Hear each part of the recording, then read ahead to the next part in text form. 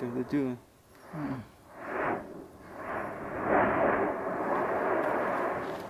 Nah, nanti susah kita cari jalan terus kalau udah kemalaman.